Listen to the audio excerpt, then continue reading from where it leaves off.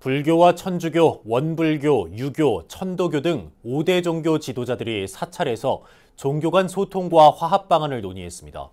한국종교지도자협의회는 지난 5일과 6일 무주 안국사 등에서 조계종 총무원장 원행스님 대표의장 선출 후 첫 워크숍과 총회를 열었습니다. 행사에는 원행스님을 비롯해 김희중 한국천주교 주교회의 의장과 오도철 원불교 교정원장, 김영근 유교 성균관장, 송범두 천도교 교령 등이 참석했습니다. 워크숍은 비공개로 진행됐으며 종지협 대표의장 원행스님은 종교 간 화합과 상호 이해를 높이기 위해 교류회장을 자주 마련하겠다는 뜻을 밝힌 것으로 전해졌습니다.